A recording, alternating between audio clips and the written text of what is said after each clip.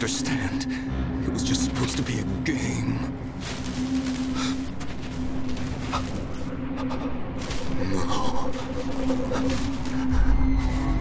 There it is again. That voice. Could it be? Has returned?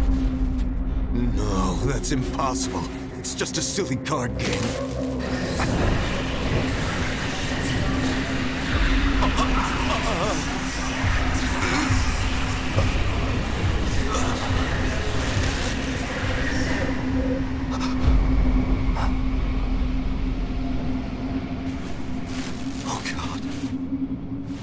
Done?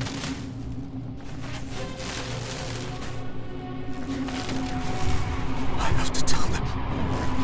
They all need to know the terrible truth about Queen's blood.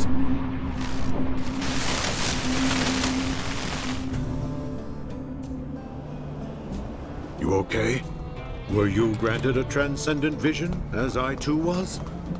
You look as though you've just seen a ghost. Saying that, I'm reminded of the story of Ledrell Balmon, the creator of Queen's Blood.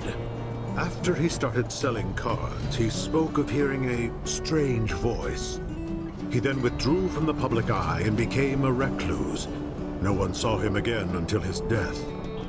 There's no shortage of people who've had their lives turned upside down by the cards. Just goes to show what a deep and captivating game it is. This match of ours stands as proof of that well, Thank you for this experience.